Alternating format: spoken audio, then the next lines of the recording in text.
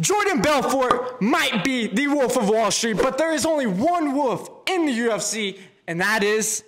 Oh, oh, oh! Khamzat Chimaev is back in action this Saturday night, and man, is he a dominant fighter. But there is something more that he is dominant, and that is his wrestling. So, Priest and I are going to be reacting to his most dominant wrestling highlights, and this video starts now.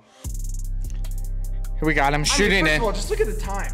It's four seconds into the round. He's already shooting, already. Let's just talk about the strength of this guy. Khamzat Chimaev is probably one of the strongest guys. Oh, what a just right into a double leg against the leech. And the leech is strong too. Look at him.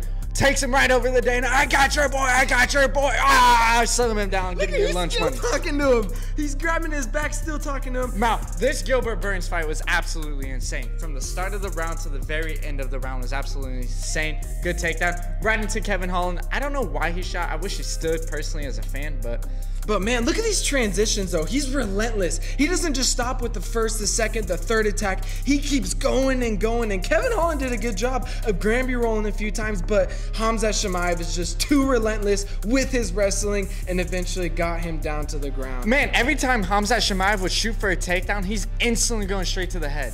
This was a very interesting fight against Kamaru Usman, who has a dominant wrestling, who had never been taken down before. I think he did against Colby Covington. That's here nor there. But Hamza Chimaev was repeatedly able to take Kamaru Usman down, got to his back, threatened with chokes, and man, is this guy dominant. Look at that. Just relentless. Keeps going. From single leg to double leg is driving, driving, driving. Finally gets Kamaru Usman down. Man, he is relentless though. He does not take no for an answer, and I'm super excited to see him this Saturday night. And we'll see you guys later.